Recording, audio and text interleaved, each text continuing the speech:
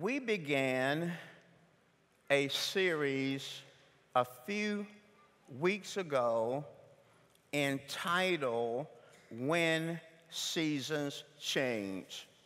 Now, I'm going to, in a moment, look at a proof text. If you want to get ahead of me, you know, some of you may have Bibles, others may have your devices or whatever.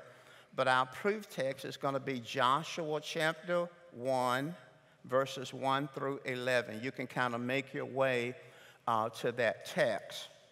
When seasons change, say that. Come on, say it out loud. When seasons change. The theme of this series is how to prepare for seasons of change in your life. This is lesson number four of a four lesson series. So we're going to conclude the series today. Now, I want to review just a moment what we said in our first three lessons. In our first three lessons, we said that everything in life is seasonal. Say that. Everything in life is seasonal. We talked about the three categories of uh, change, and we said that there is evolutionary change. We said that there's crisis change. We said that there's visionary change. And so every change falls within that context. Now, each one of these lessons, we've had a subtopic. So, in this fourth uh, lesson, this concluding lesson, our subtopic is necessary endings. Necessary endings. Say that. Necessary endings. Say it one more time. Necessary endings. Will you say it one more time loud? Necessary endings. Now, I borrowed this subject from a business book that I have. It's, it's, a really good business book, and the title of the business book is Necessary Endings. It's a business book by Dr. Henry Cloud. Uh, I highly re- recommend it for, especially for people who are progressive and, and people who want to navigate the changes of life. I, I would highly recommend the book. Dr. Cloud in this book argues that our personal and professional lives can only improve to the degree that we can see endings as necessary and strategic steps to something better. I thought that was really a powerful statement. Now, don't go to the book and expect to get my sermon. you, won't, you won't find a sermon in the book. But it's a, it's a really powerful book. But I thought it was very appropriate to conclude the lesson. My son Michael Kay, he prepared the first three lessons, and I, I wanted to prepare the finale. uh, I, want, I want to do the finale. so this is my lesson. Them were Michael Kay's lesson. This is my lesson. Okay. I want to use Joshua and his relationship and his transition, his leadership transition, Moses' leadership transition to Joshua in this text. So that's kind of the, the theme we're going to be working with. So in Joshua chapter 1, verse 1 through 11 in the New King James Version, they'll put it up on the monitor, but if you have whatever you have, you can follow along. It says, After the death of Moses, the servant of the Lord, it came to pass that the Lord spoke to Joshua, the son of Nun, Moses' assistant, saying, Moses, my servant, is dead. Now, therefore, arise, go over this Jordan, you and all this people to the land which I am giving to them, the children of Israel. So we see in these first two verses, and we're going to read the rest of the verses, but we see in these first two verses that there is a crisis. A crisis. And we've learned that a crisis is something that happens, an event that happens suddenly. And often it is something that happens outside of our control. So for 40 years, Israel has followed Moses. And Moses is special. Moses is, a, in the world, we would say he's a bad boy. You know, the Bible says in the book of Deuteronomy, the 34th chapter, it says that there has not arisen come on, come on. a prophet like Moses. It says signs and wonders flow through his ministry to bring the people out of Egypt bring them out of Egypt, signs and, and wonders. And they said, never been a prophet like him because he saw God and, and approached God and interacted with God face to face. Special guy, special guy. But it's a crisis for Israel because Moses is dead. They had anticipated that Moses was going to go the whole journey. So they got a crisis. Moses is dead. And God is speaking to Joshua, but in speaking to Joshua, he's speaking to Israel. And, he, and the first thing he says to Joshua and to Israel, Moses is dead. But he didn't stop there. He said, But arise and go cross this Jordan, the land that I promised. So we got two things in juxtaposition. We got Moses is dead, and Moses symbolizes the past. A wonderful past, a good past. Joshua and his family, Caleb and his family, they had actually been born in bondage, and, and they Moses brought them out of Egypt. And then there were many younger people who were born in the wilderness. and they had seen Moses stretch a rod and the, the sea open up and they walked through on dry ground. They had seen a guy who could take his rod and use that rod and water would come out of a rock. He could stretch the, wa- the rod when they needed meat and quails would fly in. He's a special guy. He's a special guy. He's real, he real, he's real special guy. But he's dead. And so, no matter how wonderful he was, and all the things that he did, and all the lives that he impacted, he's dead. So, if we go back to last week, they got a decision to make. They can embrace the future, or they can protect the past. That's the option that they got. Because Moses is dead, buddy. It was good. We rejoice. We get happy. We thank God. But he's dead. And he represents the past.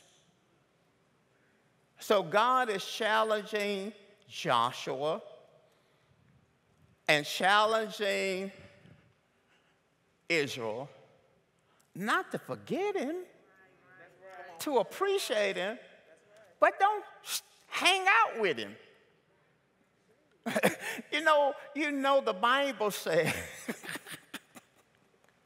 the Bible says in Deuteronomy chapter 34 that Moses died in Moab. And nobody knows where his grave was.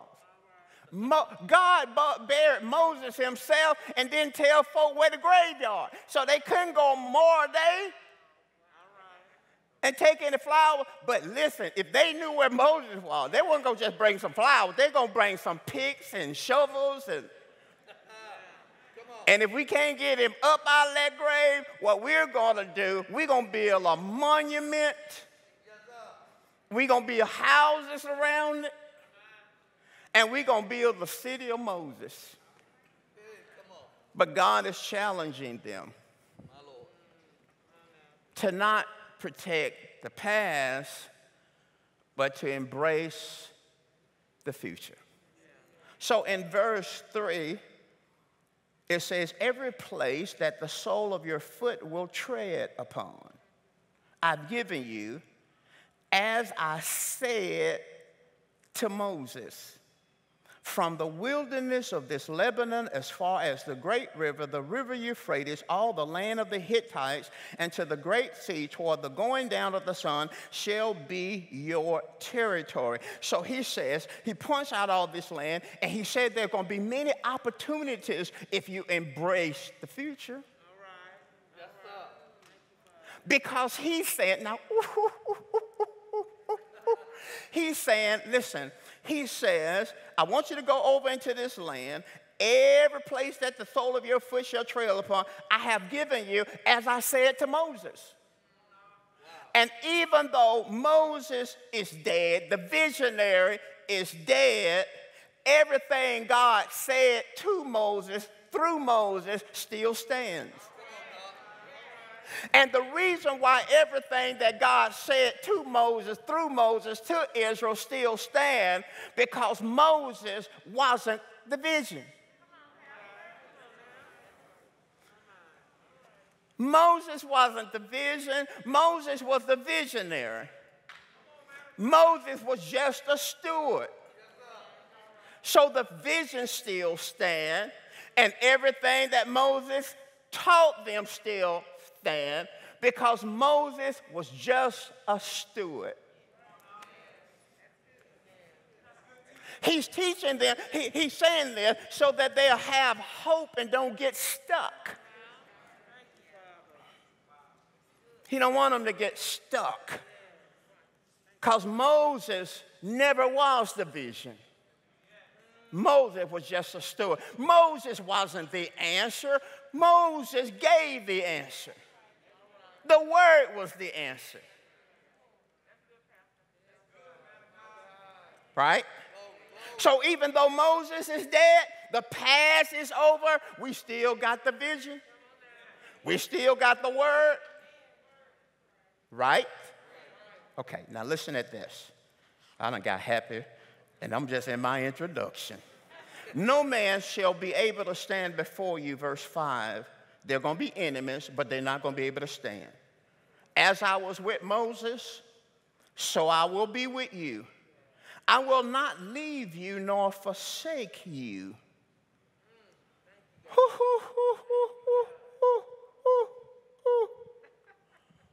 I will not leave you nor forsake you. In one of our lessons, we said that everything in life changes, right? So we need to focus on what doesn't change.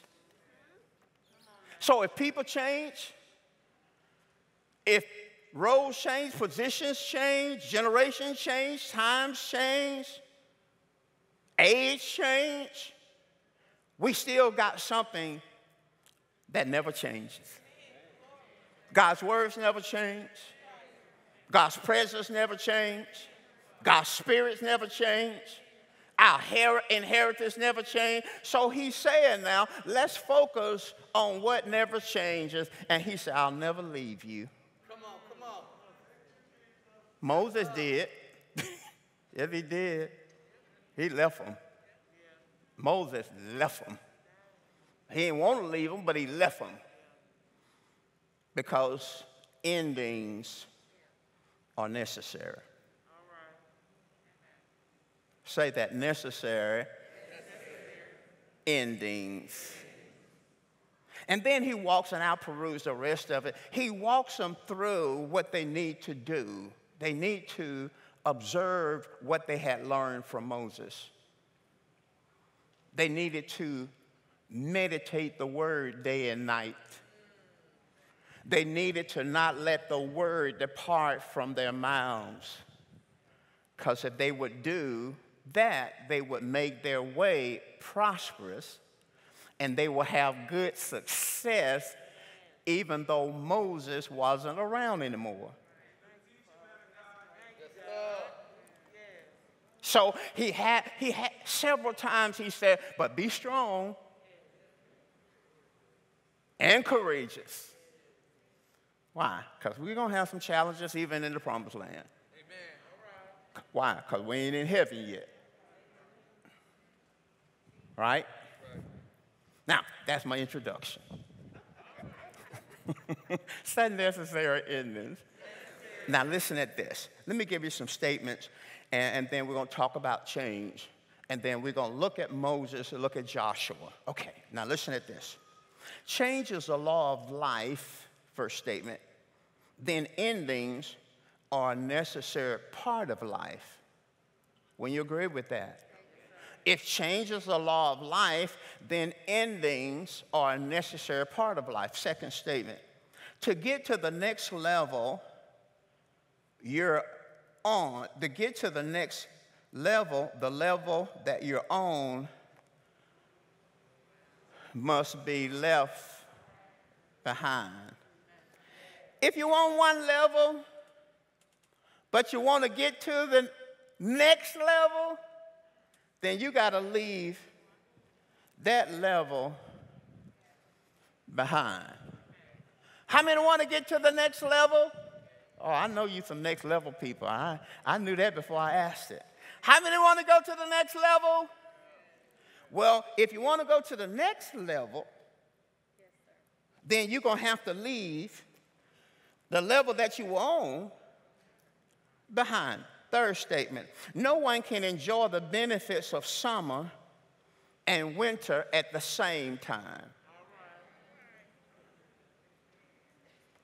I'm going to ask a rhetorical question and then I'll come back and I'll give you the answer later. But what if Moses and Joshua had attempted to lead at the same time? Just hold that one. Just hold that one. Just hold that one. What if they had attempted to lead the nation at the same time. So no one can enjoy the benefits of summer and winter at the same time. Henry Cloud said this. I, this literally came from the book. He said, without the ability to end things, people stay stuck, never becoming who they were meant to be, never accomplishing all their talents, their abilities, that God afforded them, that, that they were afforded. Listen, without the ability to, that's a powerful statement. Without the ability to end things, people stay stuck, never becoming who they were meant to be. And some people never become what they were meant to be, never accomplishing all their talents and abilities should afford them. Here's a power statement. You ready for the power statement? You want the power statement? Listen at this. Better cannot begin until good ends. Better cannot begin until good ends.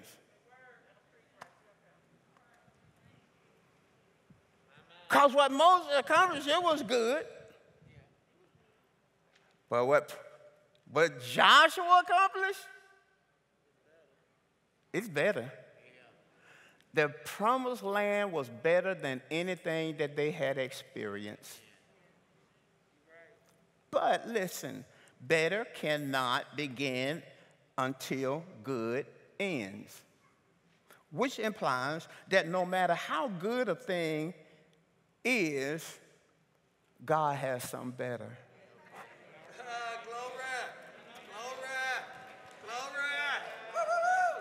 So, no matter how good a thing is,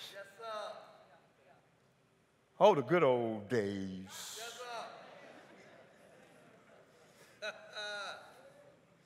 The good old days. No matter how good a thing is, God has something better. But better cannot begin until good ends. Can we go back to change and let's define change some more? And I want to give you four definitions of change. You getting anything out of this? I think y'all know where I'm going. I think y'all already know where I'm going. Okay. All right. Pacify me and go along with me. Okay, let's, let's go back to change and define it. Change for definitions, means to move from, and we're to use the scenario of Moses and Joshua. Change, number one, means to move from. It could be moving from a place, a place. It could be moving from a geographical location. The nation of Israel was moving from Egypt moved to the wilderness, and now God wanted them to move into the promised land. So the word change means to move from. Sometimes it's not moving from a place, it can be moving from a position, it could be moving from a role. Joshua is moving from being the servant of Moses to being the leader of the nation of Israel. But sometimes to move from change is moving from a mindset a way of thinking. Moses was learning all the wisdom of the Egyptians, but Joshua was mentored by Moses and trained in the wilderness. So we got two individuals. We got Moses, and he got all this Egypt stuff in him. But we got Joshua, who was trained in the wilderness, trained in the now, trained in what's going on now. Now, Moses knew that, knew that, that Egyptian stuff. That's why he can walk in there and, shoo, shoo, and do all this thing, and all that stuff start happening because he was trained in Egypt. He, know, he knew what they believed. He was a leader in that environment. Joshua was just a kid over there, just a young person over there. He was trained in the wilderness. He was trained in right now. So we have a role change. We are moving from one role or position to another, but but change, secondly, means an exchange. Say exchange. That's our second definition. It's an exchange. To replace with another person, another policy, another procedure. And here we see God replacing Moses with Joshua. Third definition. Now, I'm gonna, I, I got a quiz at the end, a test. Okay, so you listen carefully now so you can pass the test. If you don't pass, you're going to have to take it again. I'm not even going to let you go home. You're going to stay in late class until you get this. Okay, I'm telling you, I'm giving you information because I'm going to give you a test at the end of the lesson, students. So the third, defin- the third definition of change is to give up something in return for something else. If you're going to have change, you got to give up something for something else. You're standing in front of the drink machine, soda machine. I don't know what it costs now. Let's say $2.50, $2.50. You got $2.50 in your hand, and you want that soda out of that machine you got to give up something to get something, right? So if you really want the soda, if you really want better, if you really want next level, then you got to give up that 250. You got to give up what you have in order to get something better. Amen. Now, watch this. Moses and Joshua were different. Say different. They were different in their personality, they were different in their giftings, they were different in their leadership style. God, that implies that these two individuals were what? What, what, what they, what, uh, don't, don't go there yet, don't go there yet, don't go there yet. They were what? They were what? They were what? Question, why were they different? Not a deep question now. Why were they different? Okay, okay, okay, I heard it. God made them different. So God was intentional and he didn't want Joshua and Moses to be just alike. God made them different. God made them different in their personalities, made them different in their giftings, made them different in their leadership style because God was intentional. What God had planned for Moses required his personality, his giftings, his leadership style. But what God had planned for Joshua, God gave, gave, gave Joshua a different personality, a different gifting, and a different leadership style so it would match his assignment. So God was intentional. Come on, say God was intentional. Come on, say God was intentional. He was intentional in his deposit, gifting, personality, but he was also get, uh, he was also uh, intentional in their preparation. He, he prepared them different for their assignments. So now, if we're gonna we're gonna have change, we gotta give up in order to get the change. Listen carefully to me. Moses and Joshua were different in their personalities, gift, and leadership style. Moses had a shepherding background. He was used to listen to sheep.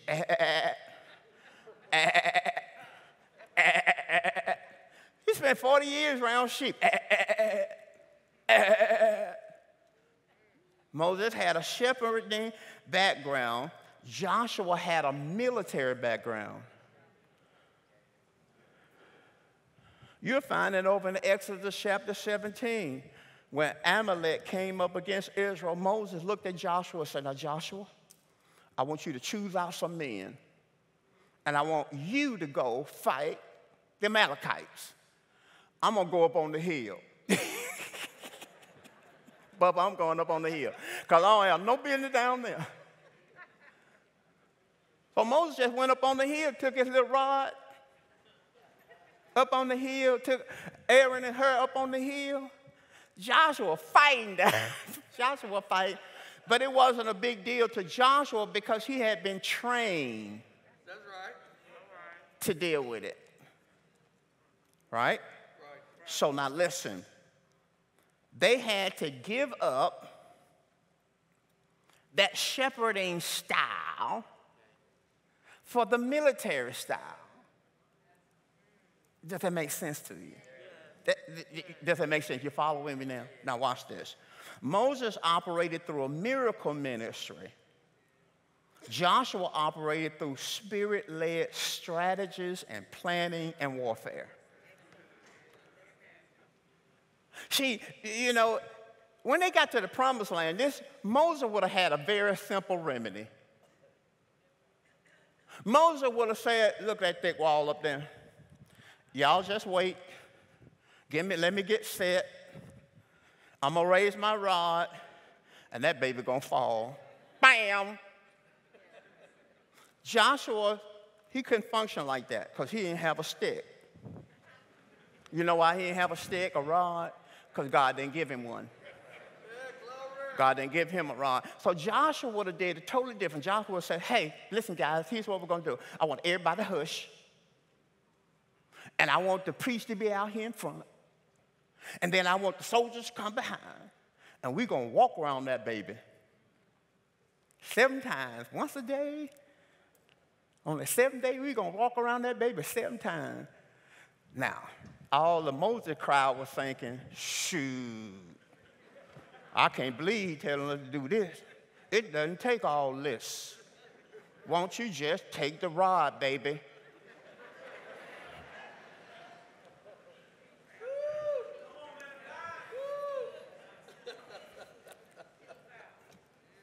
Am I talking to the right crowd? So both Joshua and Israel had to give up their dependence on Moses' leadership style. They had to give up this raw ministry. Fourth definition the word change means to shift. This is my last definition. I'm headed toward the questions. Get your pen and pads out. We're going to close the book in a minute.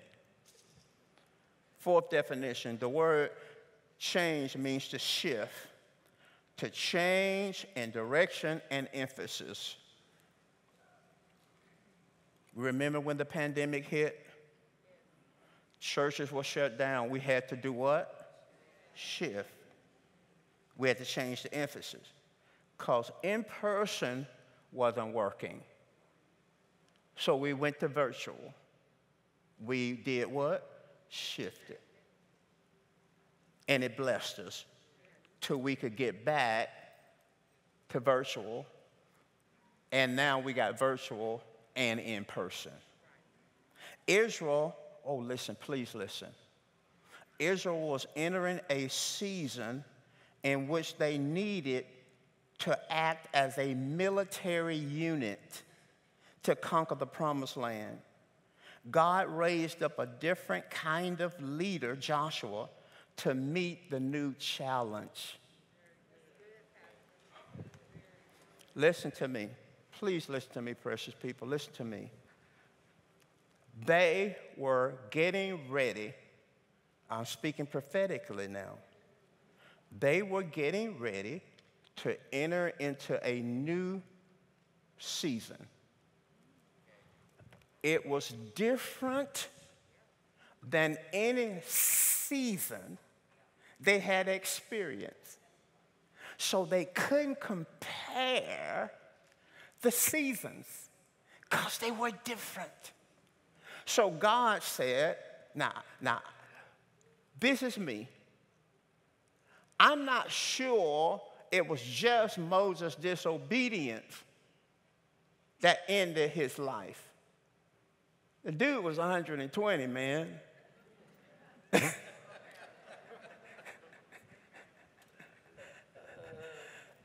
the dude had been in the game 80 years, folks. Come on now. Don't he get a trophy at some point? but God knew the season changed. And he raised up a leader who could fit the season. Does that make sense to you? Now, watch this. Israel had to shift or transition from a civilian mentality to a military mentality. Let me ask all our vets. Vets, let me see your hand. Okay. When you entered the military, did they shift your thinking? Huh? Talk to me. Did they shift your thinking? Yeah. And they took away all that little stuff, how you could do what you want, when you want, how you want. Yeah. Am I right about it? Yes, right? right? Okay. So now Israel needs to shift their mentality from a civilian mentality to a fighting mentality. So they needed to shift to a military mentality. They were shifting from spectator to participant. You do it, Moses. You lay hands on me, Moses. You cough. You, you, you, you lift up your rod, Moses. They had to shift from a spectator to a participant. They had to shift from manna coming out of the sky to sowing and reaping. Because in this new season, no manna is coming. They got to farm. They got to plant. They got to reap a harvest. Israel had to shift or transition from a civilian mentality, a spectator's mentality, manna, and they had to shift from the rod strategy. Now, I'm going to give a statement, and then I want you to close your books because it's going to be test time. Okay, it's going to be test time. Joshua's training, his skill set, his personality were better. Come on, say better than Moses for the new challenges and goals ahead. Now, I'm going to make that statement and I want to sell it because that's the truth. Now, look at that statement. Joshua's training, skill set, and personality were better than Moses, better than Moses, better than Moses, better than Moses, better than Moses for the new challenges and goals ahead. Got it? Close your books. Close all your textbooks. We're not looking at any notes. Can't look at your notes. Great, it's, it's test time. It's test time. First question.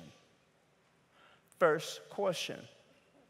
If we could somehow raise Moses from the dead and present both leaders to the people, which leader do you think Israel would have chosen? Okay, we raised them from the dead, and we're going to give the people a choice. So Moses standing there with his rod, and Joshua standing there with his strategies. I got a plan. Okay. Which one would they have chosen, in your opinion? Talk to me. Okay. But let's go back to our statement of fact. Joshua's training, skill set, and personality were better than Moses for the new challenges and goals ahead. But you're telling me they would have chosen Moses. So, my question, my next question, because you did pretty good on that one. Why?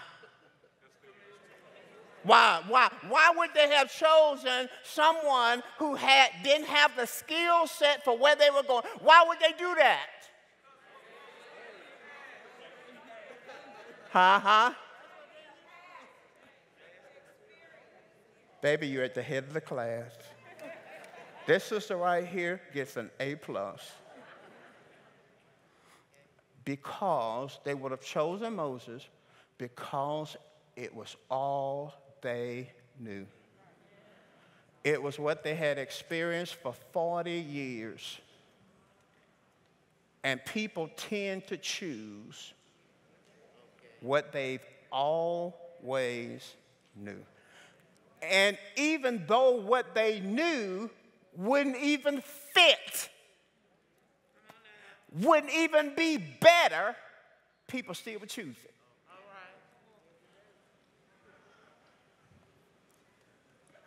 Would you agree? Okay, now watch this. Another question. Did they know what Joshua could do and how he would perform as, a, as their leader? Did they know? Did they know what Joshua would do? They didn't? Did they know how he was going to perform? Why?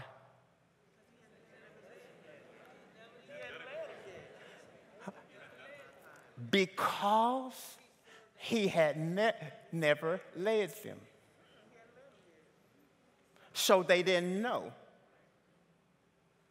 So it would have been unwise for them to judge his potential because they didn't know. Because he had never been the leader. He followed Moses. He listened to Moses. And Moses said, Go over here, and he go over here. That's all they saw Joshua doing. They didn't see Joshua in charge, so they didn't know his potential. But when we read the book of Joshua, he was extremely successful.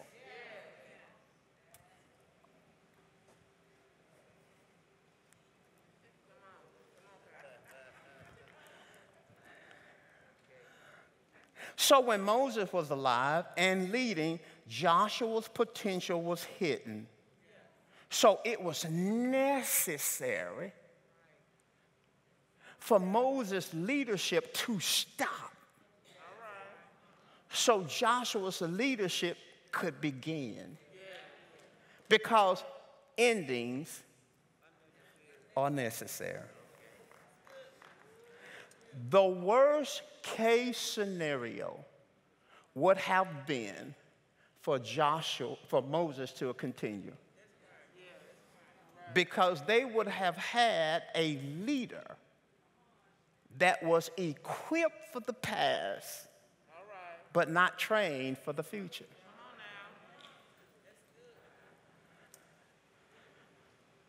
All right. I guess I'll give you a passing grade.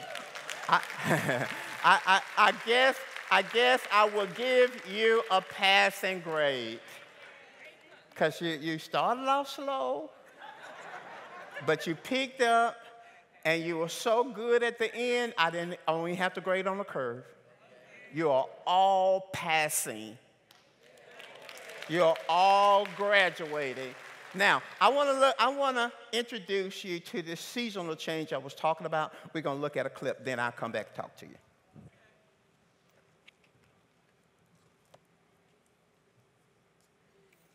Faith Chapel was birthed April the 26, 1981, in the den of my home with four people a friend, Al Sullivan, my mother, Mary Moore, my wife, Pete, and me. And I have been a living witness to the 41 year faithfulness of God to Faith Chapel. We've come a long way since those early days, and God truly has been faithful. We were able by God to impact over these 41 years thousands of people locally, nationally, and internationally. God was faithful to his word to give us every willing and skillful laborer. He's blessed us through the years with an outstanding staff, outstanding employees, outstanding vision partners that are committed to the vision. He's blessed us with outstanding facilities. He's blessed us with thousands of members who have heard, believed, and caught the vision and been so loyal and dedicated. He's blessed us with two campuses, a campus here in Birmingham and a campus in Columbus, Georgia. God has truly been faithful. But I believe that Faith Chapel's best days are ahead. I believe it scripturally and I believe it as a prophecy from God. And this new step in the Faith Chapel journey, our new future begins with the transition of the pastor of leadership of Faith Chapel from me to my son, Michael K. This transition will culminate at the end of the year and the first Sunday of January 2023. Michael K will become the lead pastor of Faith Chapel what we traditionally call the senior pastor. He will be our leader. He will be my pastor. He will be your pastor. And I believe prophetically that your best days are ahead. And I'll talk about that later. But scripturally, whenever God makes a change, according to 2 Corinthians chapter 3, verse 18, he always moves us from glory to glory. So, Faith Chapel, your best days are ahead. So, hey, Pastor Mike, first of all, what we all want to know is that as the visionary and founder of Faith Chapel, are you okay? Am I okay? Yes. Are you okay? Listen, Mike, listen, Faith Chapel, I am okay about this transition. In fact, I'm excited about this transition, but I'm okay for three reasons. Three reasons. The first reason I'm okay, Mike, is because I've heard from God. You know, over the course of my life as a pastor, 41 years of pastoring, I've always wanted to know what God wanted me to do. And I've heard from God about both the transition itself, but I've also heard from God about the timing of the transition. Early in my ministry, early in my call, the Spirit of God spoke to me, Faith Chapel, and He said that He had adorned me with the, the robe of a prophet. He said that I was a prophet called to the nations. He said that I had a worldwide ministry. So I'm simply shifting. No, I'm not retiring. I'm shifting more into that prophetic role, the prophetic call on my life. And specifically, in this call and in this phase of my life, I'm called to feed and equip the body of Christ. I'm called by God to develop churches and I'm called by God, I'm called by God to coach and mentor leaders. I believe these 41 years has been preparation for me to help others. Absolutely. I'm okay, Mike, secondly, because transition is biblical. We see it in the scripture, all through the scripture. We see the leadership of Moses transitioning to Joshua we see the leadership of Elijah transitioning to Elisha. And then we see the, tra- the leadership of Jesus transitioning to the apostles and to the church. Every God given vision is always greater than the visionary. That's good. The visionary is simply a steward. The visionary is a trustee of the vision. So although the visionary, the steward, me, the trustee, is changing. The vision of Faith Chapel is not changing. So for 41 years, God has given Faith Chapel a vision. And Faith Chapel Birmingham, nothing is changing in the vision. Nothing is changing. We're simply going to another phase in the vision, another level in the vision, another step in the vision. Faith Chapel Columbus, the vision of Faith Chapel Columbus is not changing. Everything that God designed in eternity past and God wants to happen, intends to happen in Faith Chapel Columbus and all the surrounding areas is not changing. Here's what you need to understand. Every God given vision is generational. Mm-hmm. In the scripture, we see the God of Abraham, the God of Isaac, and the God of Jacob. That's good. Every God given vision is generational. God never gives a vision to just one generation. Therefore, if Jesus should tarry, no visionary will ever complete the entirety of the vision yeah. because the vision is generational and transferable. That's good. So I'm okay. I'm okay, Michael. Thirdly, because of what I believe to be your readiness to be the senior pastor, the lead pastor of Faith Chapel. God is a God of preparation. Jesus was called before the foundation of the world to save the world. And at the age of 12, he knew that he was called. We see it in the Gospels. He said, I must be about my father's business. And it, he was 12 years old. Yet he went home with his parents and lived out the next 18 years before he entered the call because God is a God of preparation. I believe that you've been prepared. I believe that Michael K has been prepared. And I introduced this transition to our board of directors some months ago. And I shared with them seven things that I believe speaks to the fact that Mike is qualified. And you know I like seven. Michael was raised in a Christian home, number one. And Jesus' preparation began in his home with Joseph and Mary. But Michael was raised in a Christian home with parents who were pastors, and he was taught the Bible in the home. Secondly, his natural academic training. In Scripture, there's always a balance between the natural and the spiritual.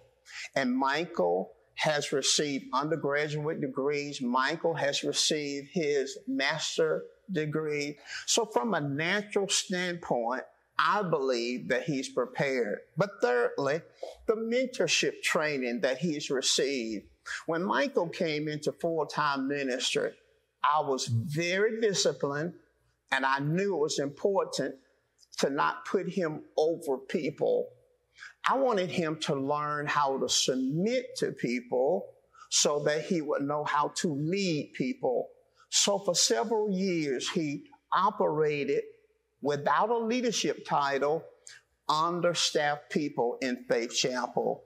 And then, fourthly, there's the practical side of preparation, the practical side to moving out in leadership. So, for years, he led the finance department. For years, he's been the executive pastor of Faith Chapel. And for years, he's led us in strategic planning at our church. All of this is a part of the practical walking out of leadership. And as you know, he served on the, the teaching team of Faith Chapel and have done an absolutely amazing job. But the fifth, sixth, and seventh reason I believe that he's ready is so very important. He meets the biblical qualifications of a leader. When we look at 1 Timothy chapter 3, there are qualifications. The Bible says that he that desires the office of a bishop or leader must meet certain qualifications. He must be of good behavior, apt to teach, good reputation, rule well in the home as it relates to marriage, and children, and he must not be a, a novice. And when I look at my son, he checks the box. And if you look at those qualifications in first chapter, Timothy, first Timothy chapter three, you will see that he checks those box. Good behavior.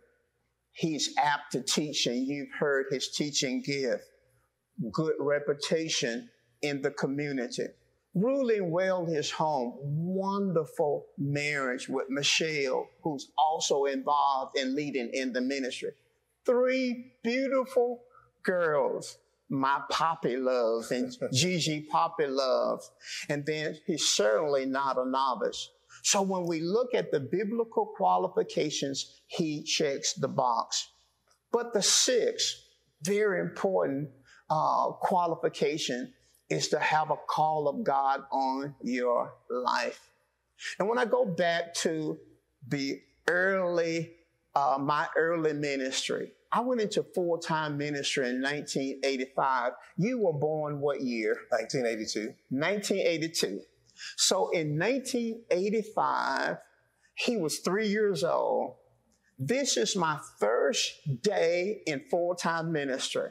I'm all by myself not sure how to do what I'm called to do. And the first person that God put on my heart was to pray for my young baby son, Michael Kenneth. He was three years old. And out of all the things that God could have instructed me to pray about, he instructed me to pray about this little boy who was just three years old. Why? Because he's generational. God saw it in eternity past that there will be a transition, and God wanted me to pray for this little boy that's three years old. I'm not sure why I'm praying. All I knew is he told me to pray. Around six or seven, he's asked all kind of questions, all kind of questions like, why is the sun in the sky? Where did the moon come from? And then out of the clear blue, six or seven years old, he said, Daddy, I know you don't remember, but Daddy, what do I have to do to be a pastor? And I said, Mike, I said, Mike, you can't choose to be a pastor. I said, you have to be called to be a pastor. He said, okay. He had no clue of the calling on his life, but he was called in eternity past, and we have a sensing of that call even at an early age. So through the transition, my growth in ministry, God will quicken him to me. He even called his name out in prior years, the Spirit of God began to deal with me, and He said that I was passing the torch, and I was passing the cho- torch to my son. I believe that there's a genuine call of God on his life. I believe that he's the heir apparent, and I've said it to you, Faith Chapel Birmingham, for years and I believe God spoke to me and gave me the year. He, he said that I will be 68 years old. I'll be 68 in December. He will be leading the church the first Sunday in January. I believe that there's a call of God on his life. And then finally, number seven, I poured my life into him. I've been pouring my life into him for years specifically in months leading up to this. I'll be pouring my life into him the next six months. And then once he's the lead pastor, I will be off the scenes in terms of leadership, in terms of the church, but I'll always be there to give advice and encouragement. Now, I'm okay. Mm. I said I'm okay. but are you okay? And can you share with us about your call? Yes, um, I'm okay um, because similar to you, I've heard from God.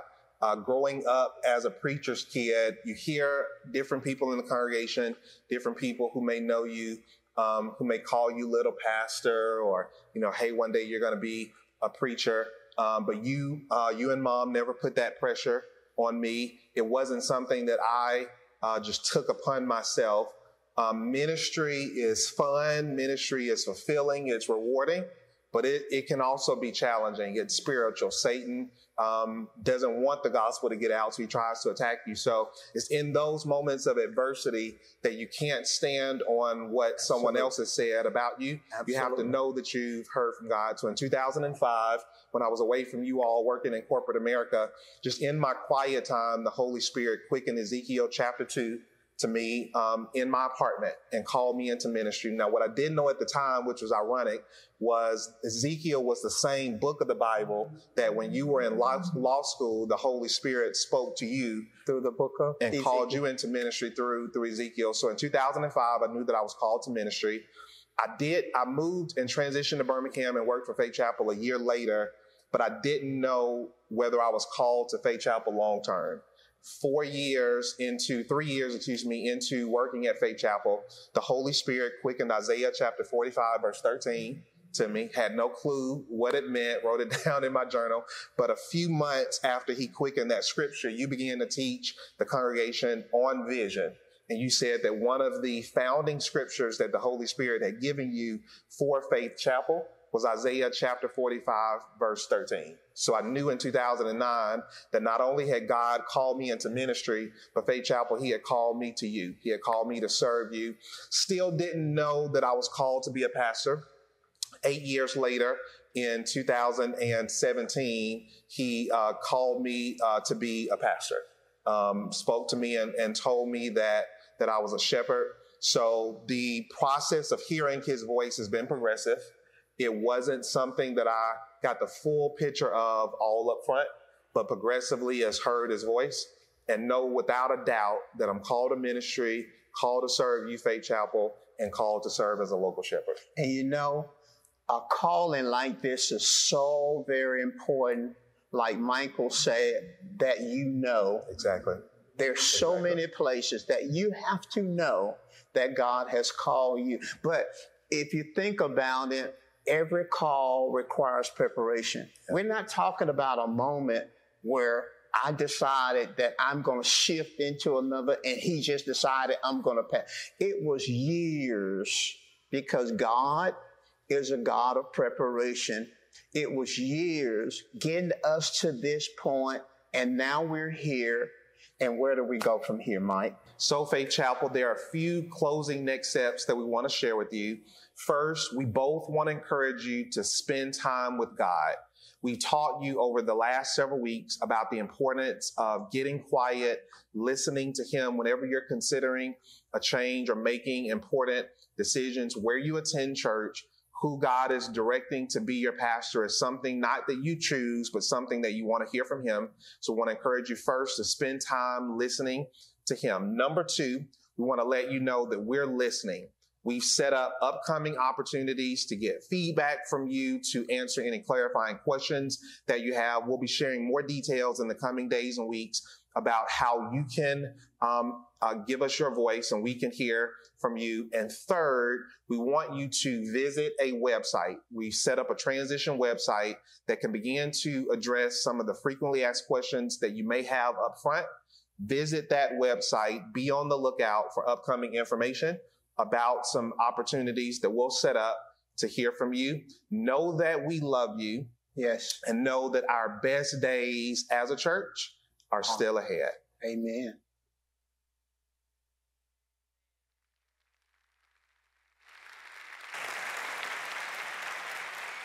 Okay. I, I want to have I want to have some closing remarks. I do know that you've been sitting a long time, okay? So I'm going to ask you to do a couple of things, and I want to talk to you for just a few minutes. Because this is huge. When you agree, this is this, this big, okay? So to kind of, and you're not, I promise you I ain't to keep you here much longer. Because beginning next Sunday, Mike is making the announcement in, in uh, Columbus next Sunday, for three Sundays, I'm going to share a prophetic word that God gave to the church and to you that your best days are ahead. Okay? It's going to bless you. It's going to also give me a little more opportunity to kind of drop some other things because you can't give all the information today. You know what I mean? So to give me thought. So if there's some gaps now, in today, I got three more weeks, Sundays, where I'm going to teach that lesson. Mike, for three weeks, is going to teach Columbus on vision. Then we're going to swap up, and I'm going to take the three lessons I taught you, go to Columbus, teach them. Mike going to swap up, come here, and teach you three lessons on vision. So here's what I want you to do. I'm gonna have you stand, then I'm gonna have you sit, then I'm gonna talk to you for just a few minutes, and then I'm gonna let you go, okay? Because this is enough to process, don't you? Is this enough to process? Okay. So stand for a moment. He's not here yet, but I want you to put your hands together and physically welcome him because in the next six months he's going to be the pastor of Faith Chapel. Will you just just do that?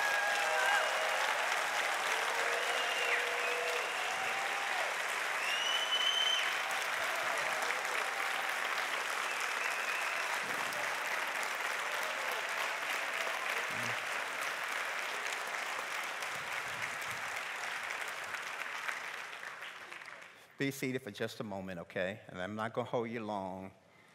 I am, I am two things in particular. I'm grateful and excited, okay?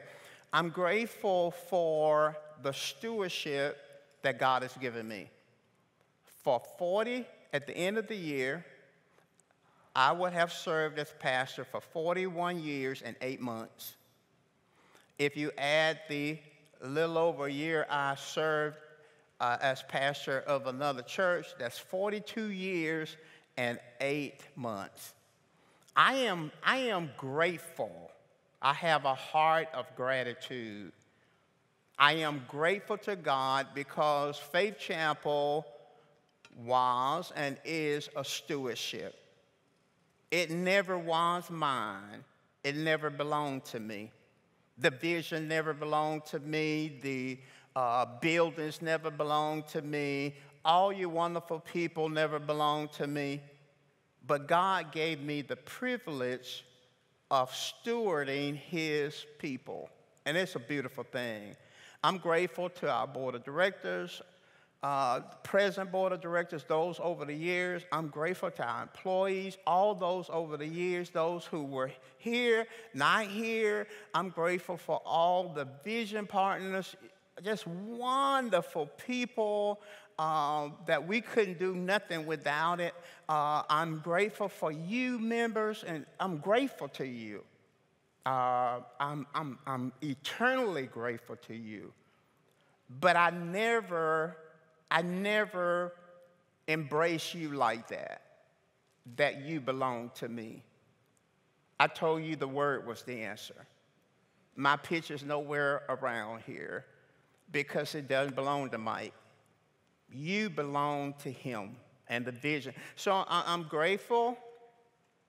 Uh, and, and you're going to hear me the next six months talk about, about it. you know, I'm grateful. Um, but I'm excited. And I'm not just excited about where I am going, because I'm not retiring. You know, I'm moving over into that prophetic call, but I don't want to talk about that today. Okay, I want to talk about, because I got time to talk about that. I'm excited for Mike. I, I really am. I, I, I'm excited because this was not a crisis change. Oh. You know, a lot of times when a pastor changed over, the pastor died, you know, or lied, you know, or uh,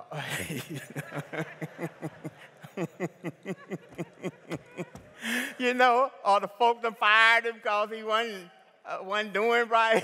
you know what? I'm just happy. You know, I'm happy. I asked the Lord to keep me. You know, I, I asked him. He said I was going to do great things and I was going to prevail. And then a few uh, a few years back, he said that I did what he I, he sent me to do, and I did well. I'm I'm happy, and I'm happy for him because the change wasn't a crisis. Now, for some people, based on where you are emotionally, I understand the emotions, okay? I have emotions. I'm doing pretty good on all these announcements. I'm, I'm so proud of myself because uh, I had to work on me to not, not boohoo all over the place, okay? So emotions are fine. Work through that. It's great. And then if you're excited and just jump up and down, that boy, you know, gonna take us somewhere, you know, rejoice in that.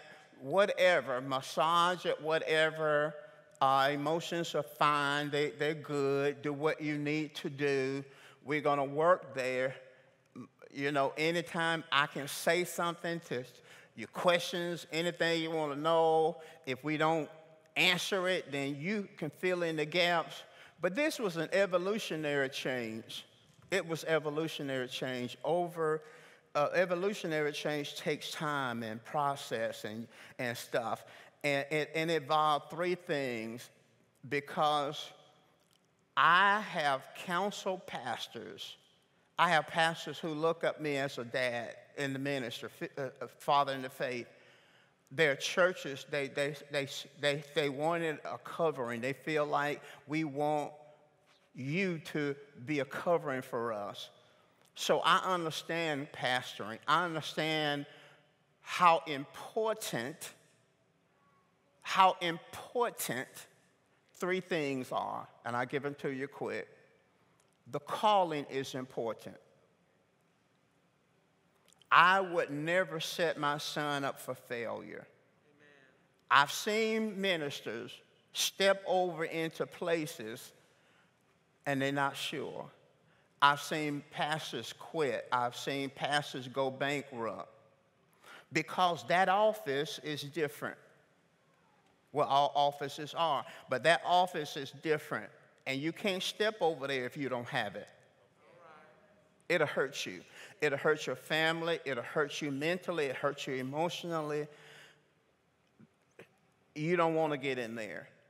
So he had to, and I had to discern, because a calling is discern.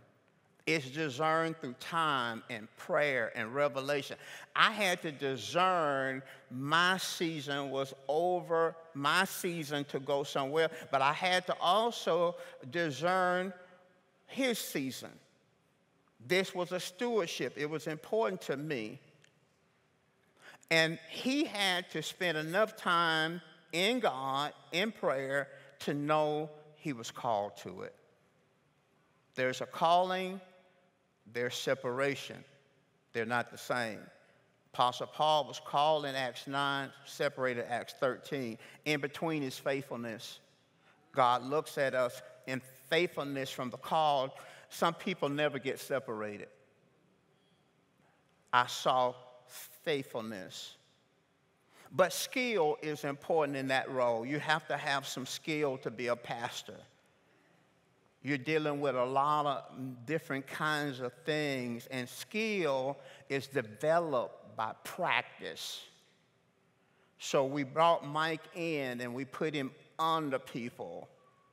We didn't put him over people. So he was under people for years. Then he ended up over a department. Then next, he became the exec pastor and been the exec pastor for 10 years. He's led us in strategic planning for years. Then we brought him over on the teaching team so that he could develop his teaching gift. But what you may not realize, he's been literally running the church, operating the church for years. I mean, he really, really. I, I don't know when the last time I've been in a meeting, a employee meeting, and he been over the staff. He been. I have sit at his feet for years, and he taught me and taught us strategic planning. That's been happening. That's been happening for years. So we, we, we're, we're certain that he's worked, Practice the craft before you release and lay hands on him. Because once I lay hands on him, I think in December, that anointing gonna shift. Everything he got gonna be multiplied because that anointing gonna shift. I ain't gonna have it no more. I'm gonna have it for about six more months. So don't be messing around with me. I'm gonna have it about six more months.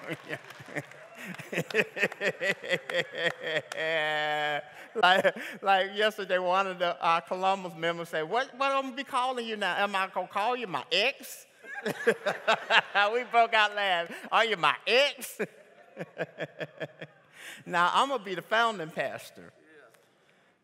But the moment I lay hands on him, that anointing to stand in that office is going to shift from me to him. It's going to shift, boy it's going to shift. But the, the third thing, call, skill, character. You have to care about what you're doing. And I don't have to, tell, uh, you got to care enough to give it your best. I, I can't tell you my story about the time I told him I would fire him. when he first came in, he was dropping in a little late. He didn't have a track record yet, but I didn't want him to have one. And I brought him in my office. I said, Boy, I said, Mike, I love you, but I will fire you. I'm much sweeter now than I used to be. Can I get a witness? Am I softer? I, and I'm softer. Okay. But I looked at him, I said, Now listen, I will fire you. You keep dragging in here, I'll fire you. And I meant it. You know why? Because it's stewardship. It ain't ours. And God is watching us. Got it? So I had to watch and see whether or not he cared about what he was doing and whether he cared about you. Do you care about the people? Shepherds have to care about the people. And then God gave me two other things. He said, in regard to leaders, you look for their attitude and are they willing to submit?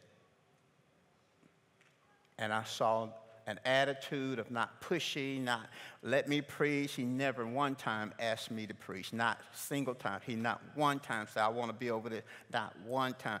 His attitude was, I want to help you. I want to help you. I want to help you, Dad. I want to help you. That's an attitude. The ability to submit to others qualify you to lead others. And it took years for us to get to this place. I just wanted to say that so you will understand it. Now, that, that's as far as I'm going to go today. I'll minister Sunday and we'll do something else. But see this, this, this card here? We created a, a card here, and it says, We understand that you may have questions. We invite you to connect with us. Feel free to visit www.pastortransition.com. And we're going to as you leave today, you're going to be given a card. Get this card because now you have an avenue to ask questions, get insight, get resources. We try to put some things for people to listen to what they can be listening to during this change thing.